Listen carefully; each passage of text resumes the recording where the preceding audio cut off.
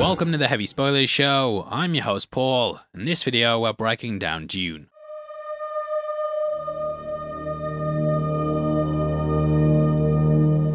The movie's filled with a ton of details that I think we need to talk about, as well as a deeper meaning to what's going on.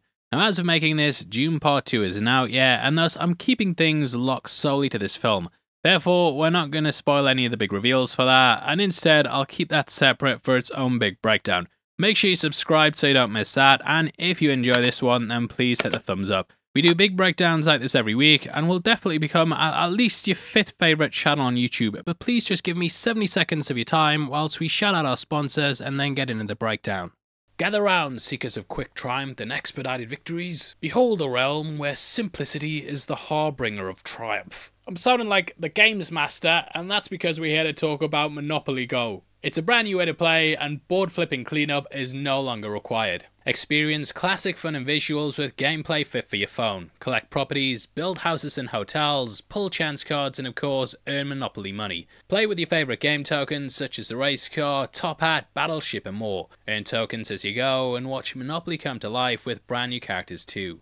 I love mobile games because they allow me to escape when I've got a free moment. With Monopoly Go, you can experience the reimagined world of Monopoly, guided by everyone's favourite zillionaire, Mr. Monopoly. They've got new boards themed after world famous cities, fantastical lands, and imaginative locales. Monopoly Go's got the classic fun with modern gameplay, and it allows you to experience the classic Monopoly with visuals tailored for your phone. I'm dying to get back to it, and if you guys want to play as well, then just scan the QR code on screen right now. You can also click my link in the description, and it'll take you straight to the app, or scan the QR code to download the game now. Monopoly Go lets you become a tycoon for the day. Forget the risks and investments though, just have fun, and yeah, dive into the game. Thanks. Now, in order to start this journey, we need to go back, way back into time.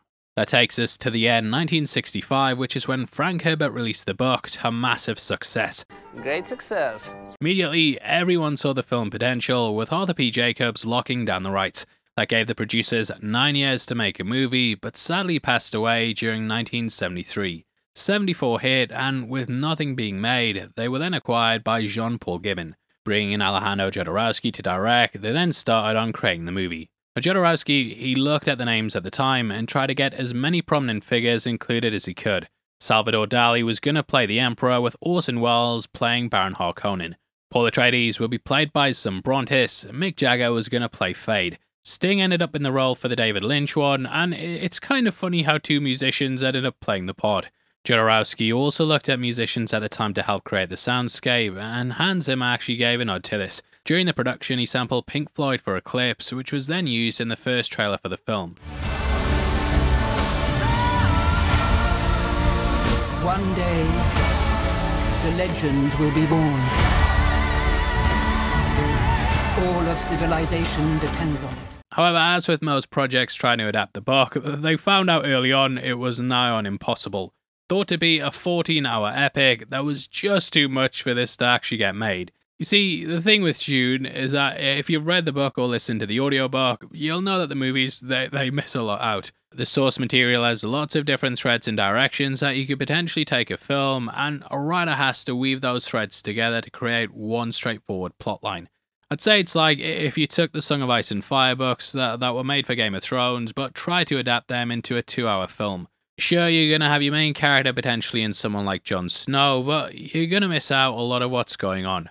Therefore, it's a challenge to adapt, and that's why pretty much every adaptation focuses on Paul. Now, according to the wiki, the work didn't go to waste, and elements of it ended up in Alien. None other than H.R. Giger was behind the designs of both, and in his concept art for Dune, you can see shades of Ridley Scott's masterpiece. Looking at the landscapes and the xenomorph itself, it's easily identifiable in the suits used in the film. The skulls and elongated heads are there as well, with sandworms also being echoed in the film. Now, 1976 is when a big change came about and Dino De Laurentiis purchased the rights.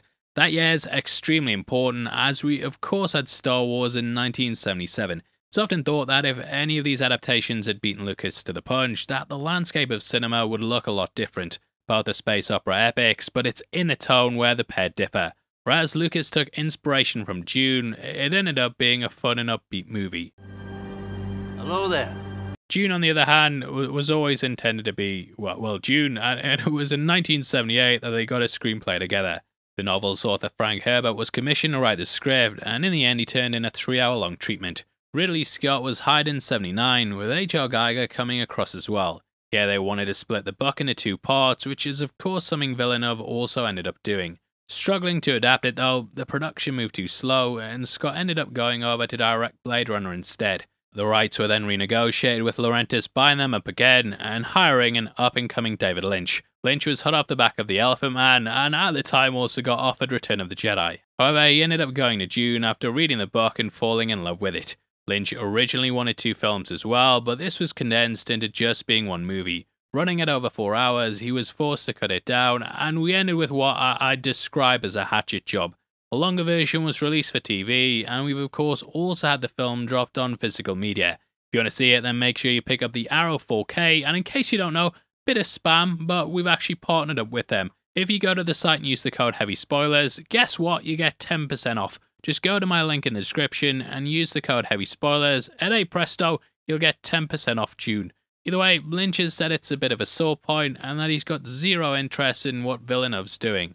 Seriously, man, you and me, we're fucking done professionally. And that's not because he's a hater, mate, calm down, but he said all it's gonna do is bring back painful memories. He said it wasn't the film he wanted to make, and overall, it makes him feel like a failure. Lynch was never given final cut, and he was forced to condense major parts of the script. Voiceover was brought in to try and explain the plot holes, and it's clear that Lynch didn't have much of a say. During the release, he was also in the middle of working on a second script, as there had been plans there were going to be two sequels. However, once the movie bombed, it was kicked to the curb and moved out the way faster than the Atreides. We then got the sci-fi miniseries in 2000, which actually, actually isn't too bad if you want to learn the lore. Unfortunately, it didn't have a big blockbuster budget, but that and all its sequels should get you filled in on the story. Then we had the Lord of the Rings and Harry Potter films, both of which managed to adapt expansive works. This made Paramount think they could finally make Dune, and in 2008 they brought on Peter Berg. This fell apart, and in 2011, Legendary bought it, which led to what we got today. Villeneuve was hired in 2016, and he's gone on record saying how much of a fan he is. Denny said he loved Lynch's film and followed all the making of stuff when he was a kid. Apparently, he used to obsess over hearing about it in the Fantastic Film magazines and read through the novel when he was 12. According to IMDb Trivia, he actually held off jumping on the film as he wanted to direct some sci fi movies first to get experience in the genre. Known for Prisoners, Enemy, and Sicario, he held off until after doing Arrival and Blade Runner 2049. That takes us into the film itself, which, like a lot of the other adaptations, split the book into two. However, Legendary knew Dune was a risk, and thus they didn't want to film things back to back. A sequel was option, but it depended on the performance, which we'll talk about after we wrap up the breakdown. However, it meant some things had to be excised, including characters like Feyd, who aren't present in the film. This was because they didn't want to waste time on things that would distract from the story here, and we begin with this message before we get the logos. This is some Sardaukar throat singing, with it later being repeated when we go to their planet.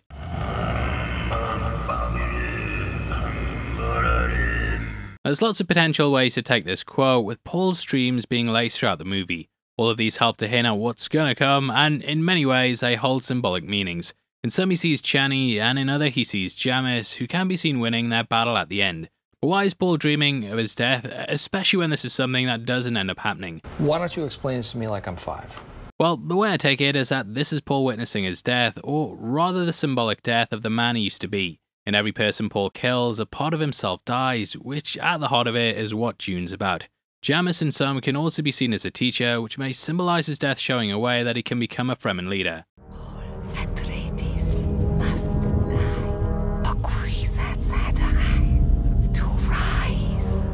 This is the line that stands out to me the most, and Paul Atreides must die in order for the Kwisatz Haderach to rise. Also, I'm probably going to mispronounce things in this video because they change the pronunciation depending on what you read or watch. And yeah, I'm going to try my best, but just bear in mind if you're writing a comment about how I've mispronounced it, it's pr it's probably all, it's already too late for me to change it. It was a quiz that's had a Haderach, give a dog a bone. Now, there's even been theories that this voice at the start is Leto II looking back on the history of his family. Spice allows one to see into both the past and future, with one being able to tap into their family's genetic memory. There are theories that our own DNA can affect our personality, with us being guided by the ancestry that helped to shape us. The deep could refer to the history deep within us that spice in itself allows us to tap into. Strong theory. Either that, or it's just a great way to grab your attention, with this popping up before the film's logos. The quote doesn't appear in the book, so hey, maybe maybe that's why as well. It's just a theory. Memes are messages from the deep. Dreams, of course, also have a double meaning, as dreams can often mean someone's goals. This, in the end, will make him lose himself, and it's the cost that it takes to be the boss. When you take a life, you take your own. I think Villeneuve was smart to start it off this way, as Dune's pretty complex when you get into it. It tackles languages, religions, different houses, prophecies, technology, and also politics. So going with Dreams, it just simplifies it down and gives us a thread that we can all easily relate to. One of the major criticisms about David Lynch's version is that the cut down film was pretty incoherent. So in order to avoid this, the movie's about Paul's goals, in which he becomes a man fit enough to lead his house. Now, one of the big differences in Dune compared to other science fiction novels at the time was that there wasn't the technological predictions that they had for humanity. Those were filled with laser guns, people typing in a vast computers, hanging out with robots, but all that stuff, it's completely absent from the work. Herbert hints towards what may have happened to push us from this, with him actually predicting where humanity would go next. He stated that once humans started relying on computers, that the men behind these computers would then enslave humanity.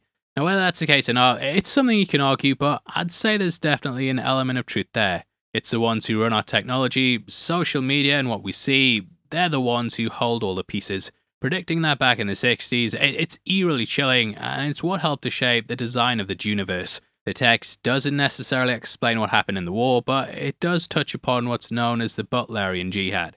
This came when man overthrew machine, and the idea that man should not be replaced pretty much became law.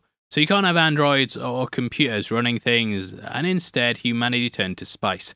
This perception altering substance opened up our consciousness and allowed our minds to go to the next step.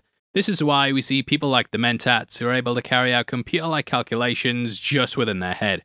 Normally, a mentat starts taking spice as a child, and this allows them to gain position in a house. This will normally be somewhere where they can provide counsel, and thus in the end, it's a coveted position. You see, every planet is ruled by a house, and all of these originate from Earth. Atreides began their life in Greece, and as we learn, they were in fact matadors. The name Atreides plays on King Atreus, who was a prominent figure in ancient Greece. Fighting a bull was a labour of Hercules, and we also had the myth about the bull-headed Minotaur. There's also bull models and icons laced throughout, and on the grave the Duke visits at 13 minutes, we can catch a bull and matador. This is the grave of Paul's granddad Paulus, who, as we learn, died during a bullfight. You can also catch Grecian letters on the bottom, tying back to their origins on Earth. In many ways, it's impacted how Duke approaches things, with him also saying, And grandfather fought bulls for sport. Yes. Look where that got him. A huge shout out to Now Playing Podcast for pointing out this shows that he shouldn't rush into combat against something that can wipe him out. In many ways, however, this leads to his downfall, as in the end, the Duke isn't brutal enough. In your eyes, I need to see it in your eyes. You never met Harkonnens before I have. They're not human, they're brutal! Now, in the novel Dune House Atreides, we learn Paulus was betrayed by his wife Helena, who had a hand in drugging the bull. The Harkonnens themselves could even be seen as metaphors for them, with them blindly charging in and taking out the Duke. According to the wiki, the bullfighting sculpture we see was created in order to enforce this double meaning. Made by Luc Massassi, he wanted to use the bull to show the House Harkonnen. The word Harka also means bull, which is why it was picked as their enemy. The Matador itself would be House Atreides, and the cape would represent Arrakis. As for the houses, they're, they're difficult to infiltrate as you either get into one in one of two ways. One can either be born through bloodline or marry into it and become a family member. I'll talk about that more in a bit, but beyond that, spice also allows for interstellar travel. This is what's helped humanity journey through the stars, with a Spacing Guild leading us up. Now, the side effects of spice are that it makes your eyes blue, but it can also cause someone to mutate. It takes a vast amount in order for that to happen, but the spacing leaders are all something else. We don't fully learn exactly what that is until Dune Messiah, and in the book, Paul sneaks about the ship trying to see them before making it to Arrakis. Later on, we learn they're people that look like fish, which evokes the idea of them swimming through the stars. That's where we jump to after the logos, and we join Chani describing a people's conflict. The first person we see is Jamis, before we then pull up to see Chani beside him. These are two very important figures that will, in many ways, take Paul to the next path. And we learn spice is the most valuable substance in the universe, with Arrakis being the only place it's produced. Thus, the one who controls it controls the universe, which means the Harkonnens have amassed a fortune. Built on the bloodshed of the Fremen, it's said that they're richer than the Emperor himself. In this opening, we also meet the Beast, who's played by none other than Dave Bautista. In the David Lynch film, they all had red hair, here Villeneuve, he makes them all bald. Their pale, pasty look evokes the royalty of old, and in medieval times, it tended to show privilege. This is why Elizabethans used to cake themselves in makeup because the people who worked jobs in the sun often got a tan from it. Villeneuve also wanted the Harkonnens to seem like this because, in the end, it reflected where they were from. It's a colourless world with no natural light, completely bleak, and just black and white. On the other side of this, Arrakis is bright and vibrant, with the first shot of spice almost seeming like glitter. Now, when writing the book, Lawrence of Arabia was an influence on Herbert's work, with a lot of the characters being similar to that. Hans Zimmer ended up looking at a lot of Middle Eastern music in order to craft a soundtrack that he felt would be accurate. Apparently, he spent a week in the deserts of Utah in order to listen to the sound of the wilderness and also the brushing sand. This helped him to compose the melodies and how he felt that the piece should sound. Now, Zimmer's, of course, worked a lot with Christopher Nolan, but in the end, he turned him down on Tenet. This is because he was such a big fan of Dune that he felt like it was going to be a dream project.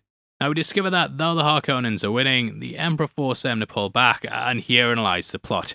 He realised they were richer and the Atreides were more popular, so kinda wanted them to both take each other out. From here we cut to Paul waking up on Caladan and get a flash of the air in the bottom right.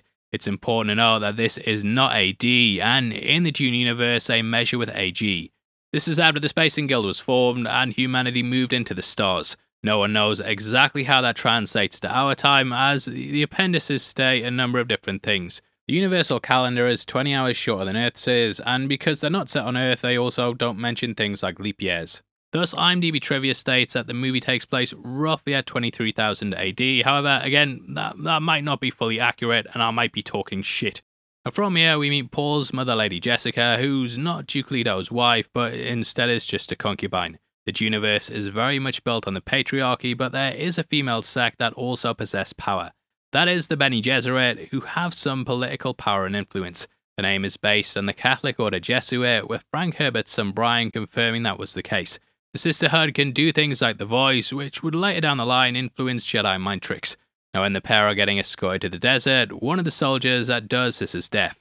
This is Stephen Collins, who was picked on purpose by Villeneuve because this was something the Voice wouldn't affect. Going back to those Greek metaphors, it's also clear that the Beni are influenced by many things. Books and Nachos pointed out they're a bit like the Sisters of Fate, who in themselves would influence the Norns. These also influenced Star Wars as well, with them being the basis for the Sisters of Dathomir. Now, one thing that I haven't mentioned yet is Spice allows you to pick the gender of your child, which is something they try to use to get power. For millennia, they've influenced bloodlines and advised the houses on who they should marry. This was so they could create the Kwisatz Haderach, who's someone that would be seen as the next Messiah. The plan was to have Jessica bear a daughter, and this would then marry into the Harkonnens. Their child would then become the Kwisatz Haderach, unite the family, and finally those finally those bloodlines they, they'd all pay off. However, Jessica, she didn't care, threw a spanner in the work and had a boy because she loved the Duke who was after a son. He's made you look a right knob. She has, to be fair, and, and what was the plan was basically the Kwisatz would sit on the throne, and along with this, they'd get all the abilities you get from Spice. They could travel through space, do all of the Mentat stuff, have the Bene Gesserit gifts, and also hit the thumbs up button. Now, it sounds pretty cool. We, have finally got someone who can lead us. However, what they'll really be doing is having someone in charge that the Benny can puppet around. Herbert also recognized the power of religion, which is something the Benny use as a weapon. They realized that if people believed en masse that this man was the Messiah, in the end they'd follow him on a path they decided. Superstition and religion are used as a way to control, and thus this figure will let them control the universe. He'll be the most powerful being that ever existed and will sit in the palm of their hands. However, the curveball by Jessica has really thrown them off, and this is why they need to test Paul. This test can see whether someone is an animal, which is how the Gesserit view most people. They think that animals won't be able to control themselves and will act instinctively to get away from danger. Thus, only someone with upper consciousness can think of the situation and hold their hand in place to deal with the pain. Whether Paul is the Messiah or whether he's just believing his own hype is also something that I think is deeply interesting. And of course, I'd love to hear your thoughts on that below, so whatever you think, drop it in the comments. Now, it's also important to note that Paul asks for water, which in itself will become a valuable commodity. From this point, we then see as the Emperor's messenger arrives and can catch Lady Jessica wearing a blue dress.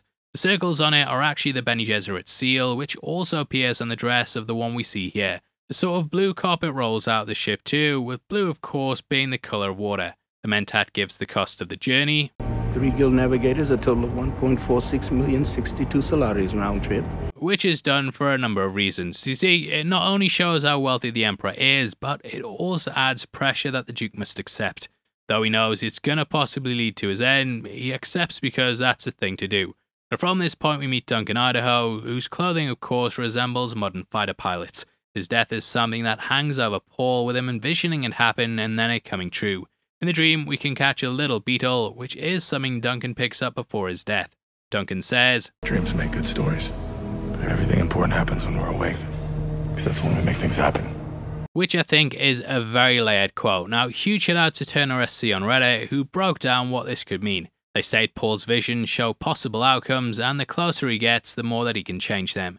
Dreams can help you get a glimpse into the future, but it's only when you're awake that you're able to act. Paul seeing dreams of himself dying is the story of his death, in which he will then waken as the Muad'Dib.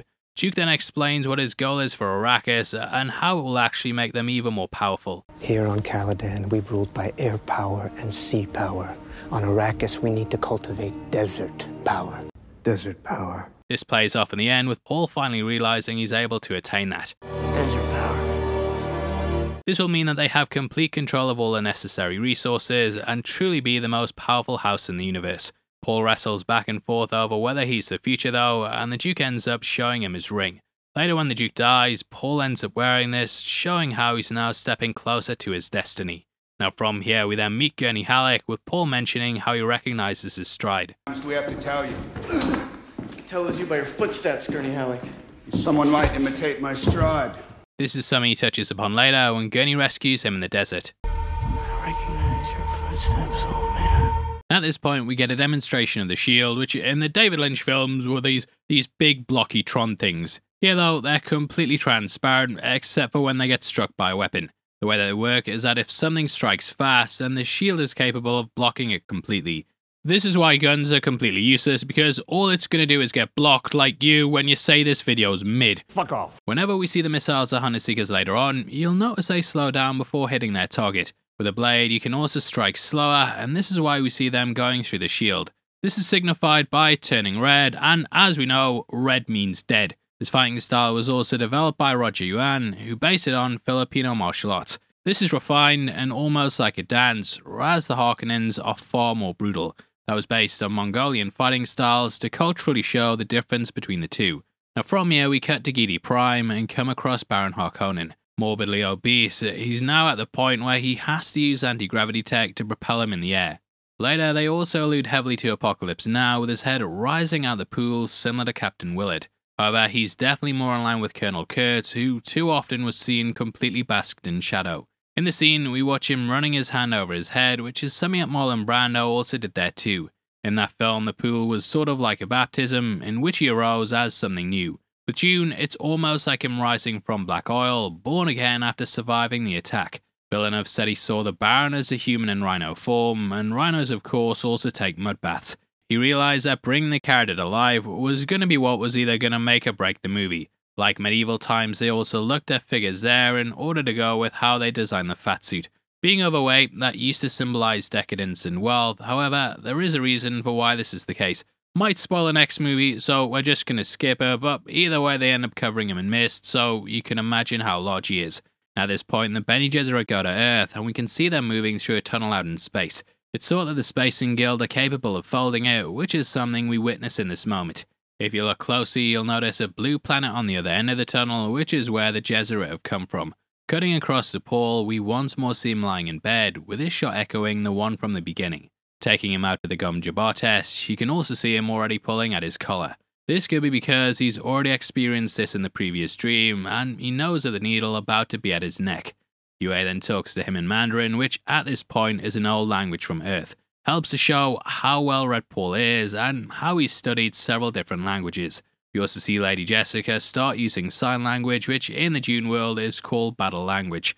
This was used so that communication could be kept silent and not intercepted by any spies or enemies. It's also easily recognizable, with each symbol being abrupt and identifiable, so there's no confusion if you're in the fog of war. In the room, we see the voice uttered by the Reverend Mother, which in itself carries a lot of symbolism to it. It shows that Benny are capable of controlling Paul, and that if they need to, he's gonna kneel before them. Kneeling, of course, means to be subjugated, letting us know instantly who it is that's in charge. We also see what those affected by the voice witness, with it pretty much becoming a blackout. Speaking of voices, Charlotte Rampling plays the Reverend Mother, and in real life, the actress is bilingual. She actually ended up dubbing herself in the French version, so if you swap the audio track, you'll also hear her there. Now, this is her trying to test Paul as much as possible because to her, he shouldn't have been born. Jessica having him has altered their plans, but she still holds out hope that he could end up being the chosen one. This is why she later asks the Baron to spare him, because otherwise it's going to throw away millennia of work. We then get what's the most famous quote in the book, which is the mic. Boiled down to its most basic terms, it means that if you give in to fear, it's gonna end up destroying you. Fear can cause you to panic and react without thinking, which is something that Paul must resist. Though he wants to pull his hand out, he holds it in place and bears through the pain even though it's agonizing. This is symbolically shown by palm trees burning and also him seeing his hand turn to ash. His sight is barely awakened, and now he goes into the fire. These palm trees come to burn at the hour 24 mark, showing us how the prophecy was fulfilled. We also get a clip of his hand hovering above sand, symbolically representing how he must pass this to embrace Arrakis. It's important to bear in mind that when he goes to the planet, he doesn't actually touch it until the scene with the worm. Up until then, he'd been wearing shoes and stuff, but this physical touch provides a transformation. Cutting to their ship, we see it rising from the water too, which, just like a baptism, shows they're going onto something new. Paul touches the grass, similar how he later touches the sand, which symbolizes his farewell and his new beginnings. He also puts his hand into a pool of water with sand sitting below. However, he doesn't touch this because he's not ready, and it's only in the rescue that he finally touches the sand. Lots of symbolism, and also most of these scenes were shot in Norway, which gives it a great contrast from when they go to Arrakis. That was shot out in Jordan, Abu Dhabi, and the contrasting environments really make these moments pop. And from this point, we see they land, and Gurney says his quote My lungs taste the air of time blown past fallen sand. This is a quote from the Orange Catholic Bible, which is one of the most popular religious texts in the entire universe. It fuses together the beliefs of Christianity and Islam, influences of which can be seen throughout the film. We also get that annoying bagpipe player that's brought into the score, and Zimmer said during lockdown his daughter used to kick off because sometimes he'd be recording at 5 in the morning.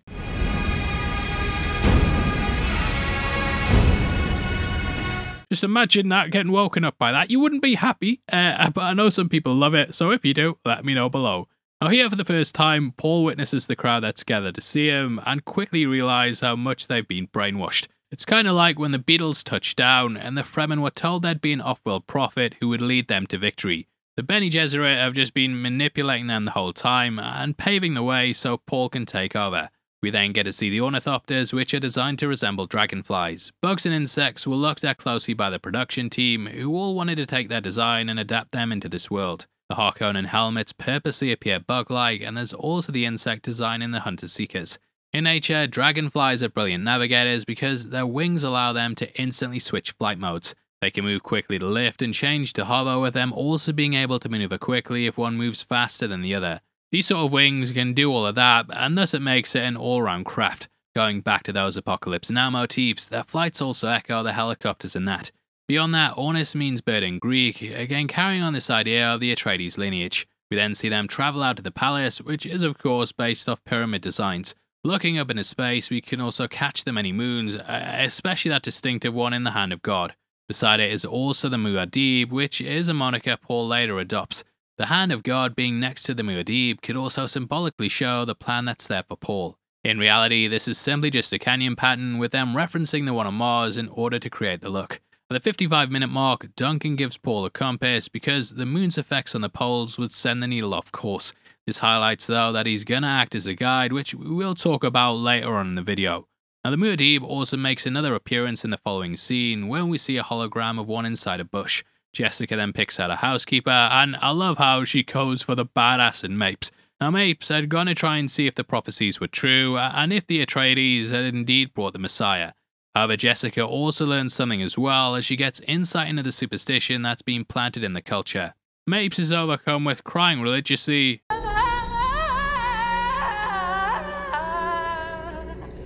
Calm down, and it shows how much she trusts her. We also learn the knife is. This basically translates to Sandworm Tooth, showing how Paul will later embrace them to help win the war. Now from here we cut to the pilgrims worshipping the trees, which are watered daily to keep them alive. Each drink's the equivalent of 5 men a day, and it showcases how much tradition can often leave others struggling. I don't know if it's a comment on royalty or just worshipping in general, but we see they happily sacrifice their own needs to keep up the tradition. Now Paul is then attacked by a hunter seeker, and I love how we see the one who enabled it was hidden in the palace walls. This is something that always stuck with me in the books, because this guy would have basically had to cement himself in. Here he'd lie and wait until they arrived, and only get the one chance to take out his target. Paul manages to survive by remaining completely still because he knows the Hunter Seeker's visions based solely on movement. This is him once more showing his mind state with a Gom Jabbar, in which he's able to think and not immediately panic. This is also needed across the surface of Arrakis, as one must move without rhythm to not alert the sandworms. One may end up panicking and running, but then all it's going to do is lead them to their death. Now, I know I said earlier that they don't use robots, so you're probably thinking, So that was a fucking lie. I bet the world of Dune does in fact use machines, but nothing that's able to go above its station. This keeps AI on a rung below the humans, and therefore they can never overthrow them. Now with the Baron we see he's got a spider-like creature that's also possessing creepy human hands. No idea what's going on with this, as, it's something brand new made up for the movie, but in the source material, the Baron's pets were all young boys. I'm getting the word nonce. So maybe they didn't want to put that in the film, but either way, there's no alien races in Dune unless you count the sandworms. All the creatures we see are caused by spice, with this spider creature potentially being immune from that. There's also a fan theory by Ronald McBigdick on Reddit, yep, that, that's a name, Ronald McBigdick.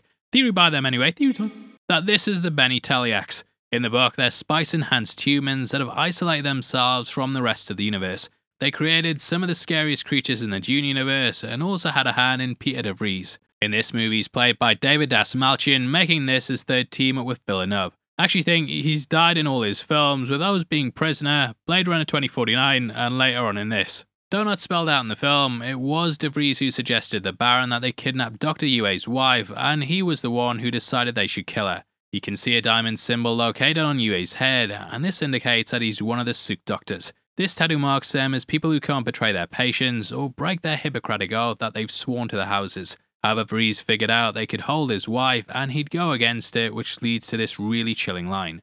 They take her apart like a doll.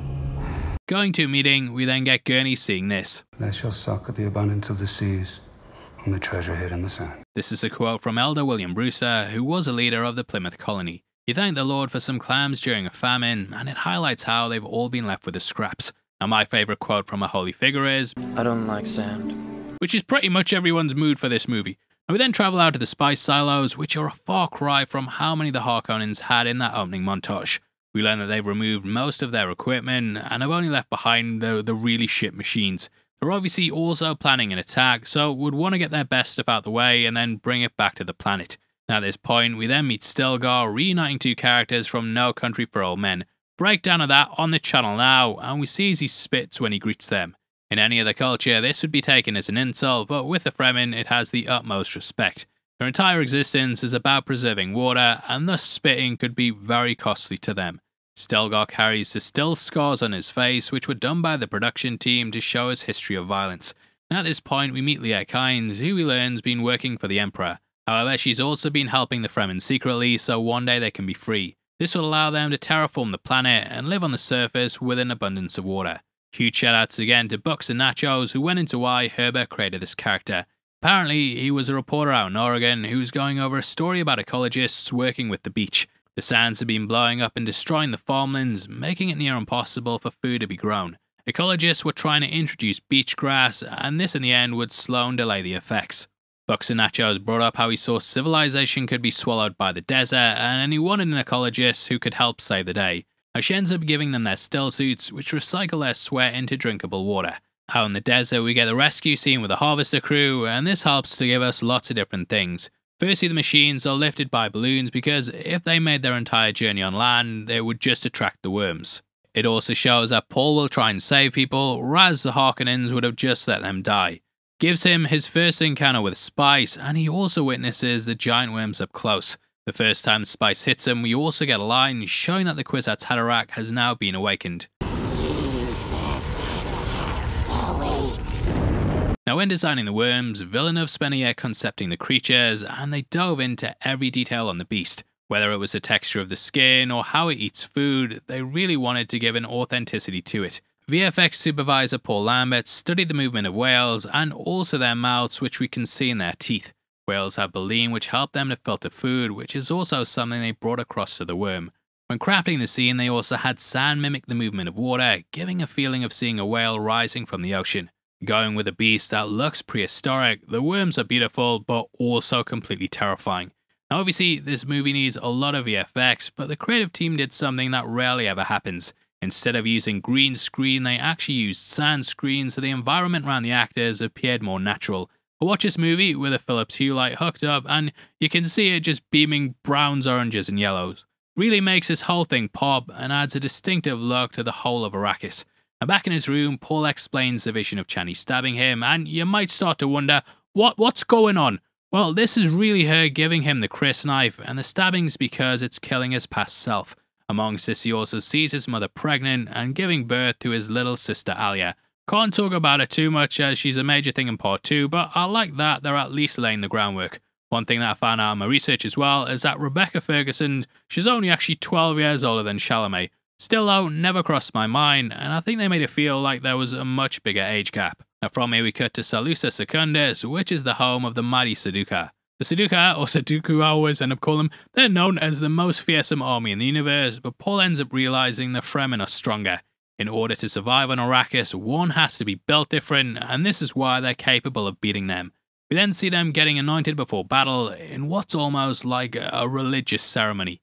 Passed by priestesses, they place a thumb with blood on their head, which is similar to what priests and vicars do for blessings.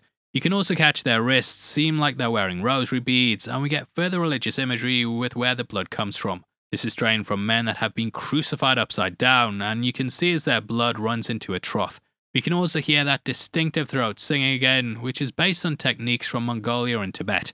The city is then attack with Yueh lowering the shields, and the Duke is sadly betrayed before he's then captured. He sees a light flashing in the desert, signaling to commence, and then finds that Mapes has been stabbed. In the scene right before this, he also met with Jessica and clearly knew that something was going to happen. During this, we cut to the bull sculpture, highlighting what this fight is really for. In the battle, we can see Gurney running head into it and can also catch Duncan Idaho clashing with the soldiers. At one point, he taps the anti gravity thing on his belt, and just like the Baron, this helps him to float. He ends up stealing an ornithopter, and I love how he just kind of scares some soldiers away after killing a handful. Such a badass, and at this point, Lady Jessica and Paul are taken to the desert, which is where they're going to be left to die. You might be wondering how they get their equipment, but there is a little clue given to us in the ornithopter. Jessica spots a pole that has a little diamond etched into it, and this is the symbol of Dr. Yueh. Underneath it is a little kid, and this has the tent and the equipment within it. Inside that tent, they also find a roll of paper, once more with Dr. Yueh's symbol. Yueh, of course, also helps the Duke, and even though he betrays him, he gives him a way to get revenge. This is sort of still keeping his oath, well, not really, but at least he aided him in the end. Also, I love the way how we see the voices used here, and Jessica even bites down on one of the god's fingers. Again, it highlights how powerful her mouth is and how it can be used as a weapon, which, careful guys, careful, at this point, the Baron meets with the Duke, and Leto ends up staring at a bullhead. This is just like what his father saw before he faced death, but he went out fighting like the Duke does here. Also, I realized when I've been recording this, I've been calling him Duke Leto, and then I was like, I think it might be Leto too, so apologize for being an idiot. I have that same issue with Jared Leto where I'm like, is it Leto? Is it Leto? I don't know. Uh, but yeah, the pronunciation, again, it's it's not going to be too accurate, but it's too late to change it, so just leave, leave it out the comments, please. Now, from here, we see as the Baron also calls him cousin. No future spoilers, but yeah, we'll probably learn about their messed up lineage during part 2. But what the Baron did during this, the Reverend Mother ended up cursing him, and thus he ended up with his giant beast body. Duke then witnesses him hovering above the table, and. Oh, they fly now! They fly now?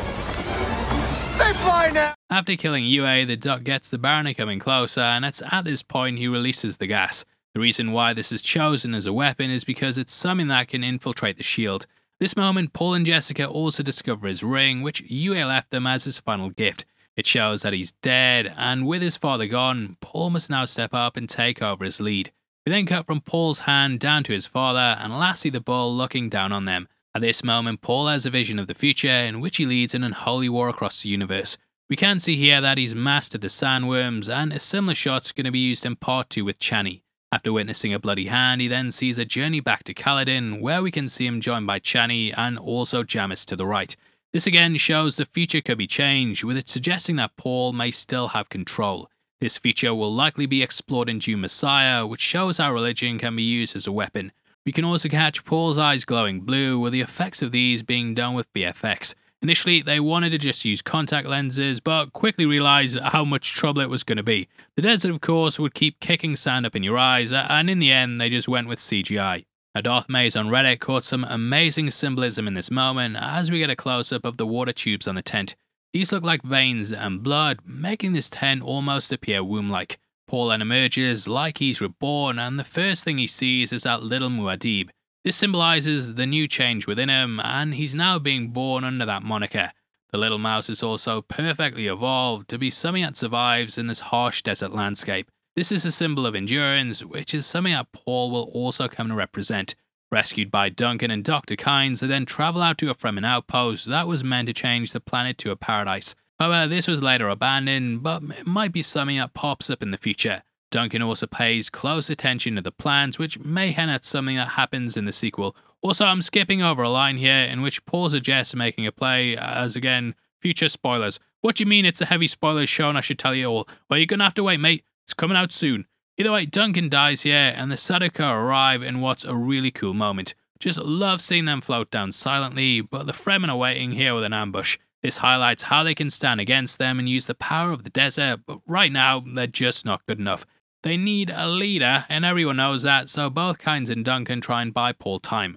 Kynes ends up using a thumper, and the sound of this is almost like a beating heart, with worms being like blood that moves through the veins of the planet. This is also like how the movie opens, and after the logos, we can hear it thumping away.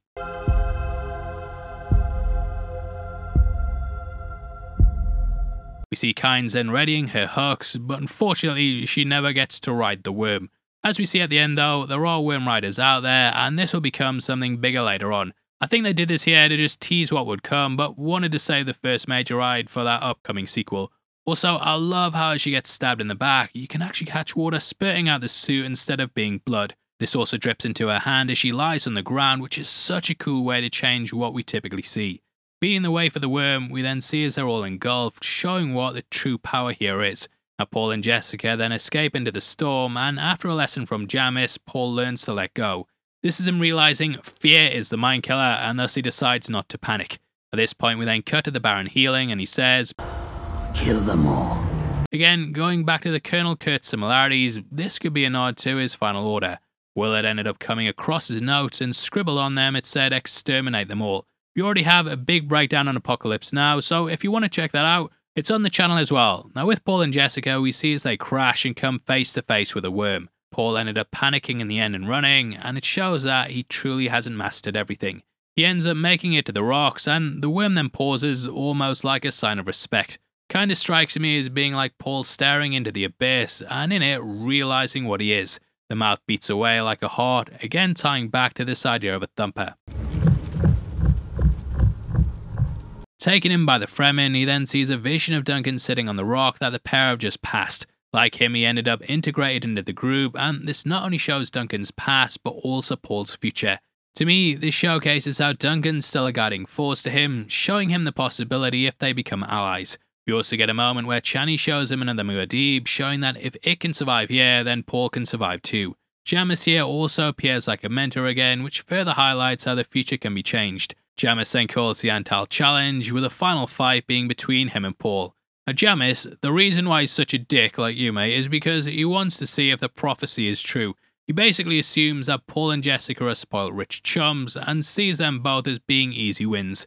Little does he know though, Kid's been trained by some of the best fighters in the universe, and therefore he makes mincemeat of Jamis. See you, chump. Chani gives him the crysknife, and we see that this also has a diamond on it again, playing into the idea that this gives way to something helpful. Paul ends up besting Jamis pretty easily, and we see as he puts the blade up to his neck. This is in order to get him to yield, but it's also something that Gurney Halleck taught him. Calling back to their battle at the beginning, this was also a move pulled out to try and end the fight. And it both failed, and it leads to Paul killing him to take that next path. That will lead into him getting Desert power. which brings things full circle from the beginning.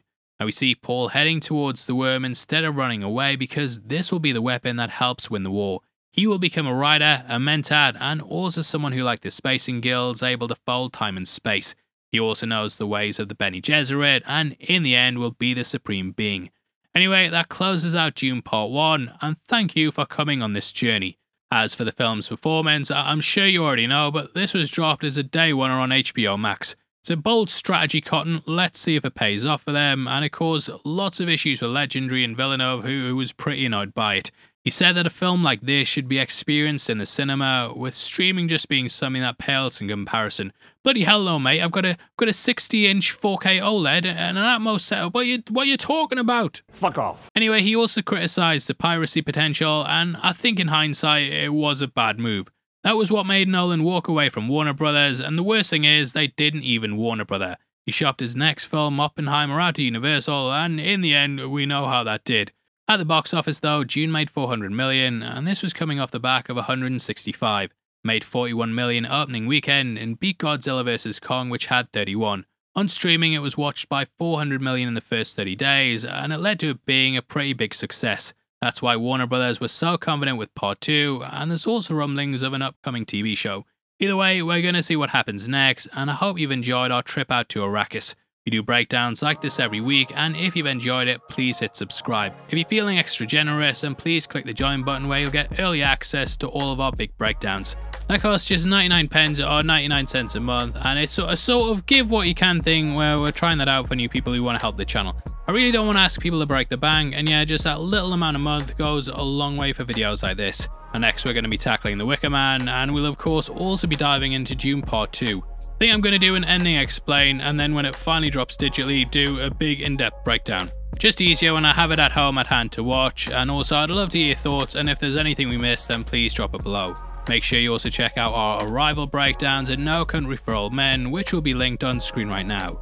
Of the way, thank you for clicking this. I've been Paul, you've been the best, I'll see you next time. Take care, peace.